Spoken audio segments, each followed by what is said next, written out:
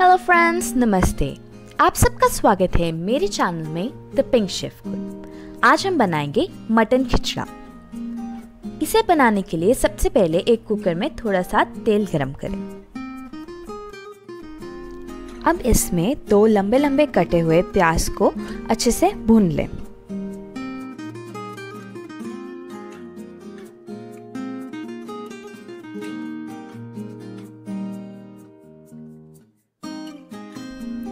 अब इसमें जितने भी खड़े मसाले हैं, जैसे कि जीरा, दालचीनी, हरी इलायची मोटी इलायची क्लोव्स इन सबको प्याज के साथ अच्छे से भुन लें।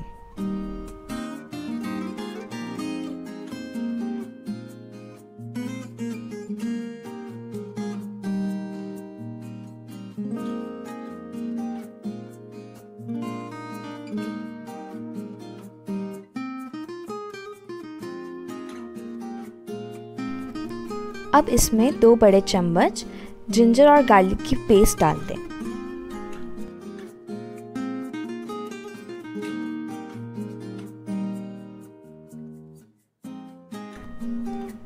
अब इसमें जितने भी पाउडर मसाला होते हैं, जैसे कि हल्दी, जीरा, धनिया पाउडर और थोड़ा सा मीट मसाला डाल दें।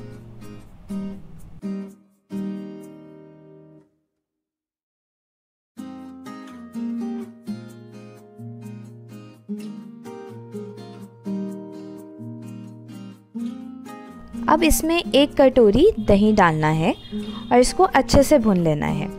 तब तक भुनना है जब तक मसाले में से तेल अलग ना हो जाए।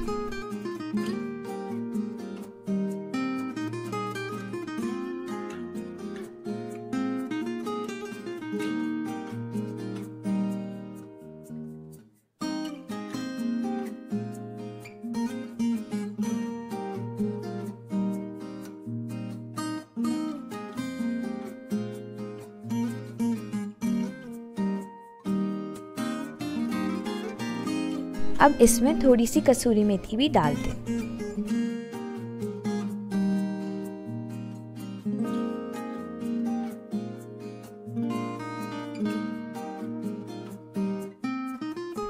जब ये मसाला अच्छे से भुन जाए तो इसमें मैरिनेट किया हुआ मटन डाल दें।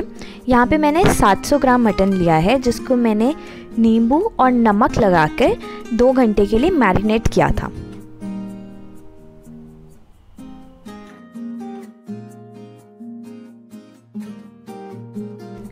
अब हम मटन को 5 से 10 मिनट तक तेज़ आँच पर पकाएँगे।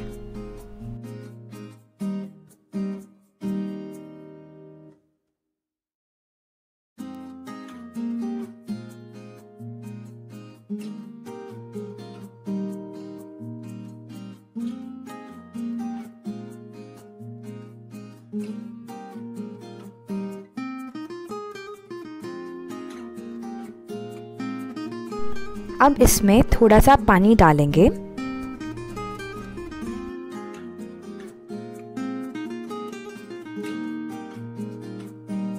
और कुकर का ढक्कन लगाकर एक सीटी देंगे और उसके बाद 15 मिनट तक इसको धीमी आँच पर बंद कुकर में ही पकाएँगे। अब जब तक हमारा मटन पक रहा है, तब तक हम एक और कुकर में दाल और अपने चावल को पका लेंगे।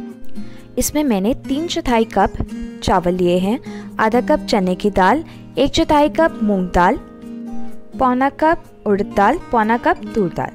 अब इसमें दाल से डबल पानी डालेंगे, एक छोटा चम्मच हल्दी और नमक स्वाद अनुसार डालेंगे।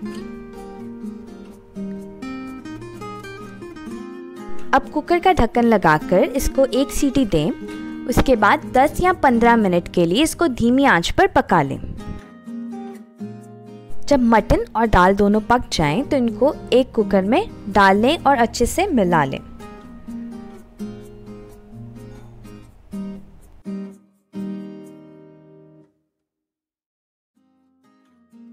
अच्छे से मिलाने के बाद अब कुकर का ढक्कन लगाएँ और इसको एक और सीटी दिलाएँ। कुकर की सीटी निकल जाए तो इसे फ्राइड अनियंस के साथ गार्निश करें और सर्व करें।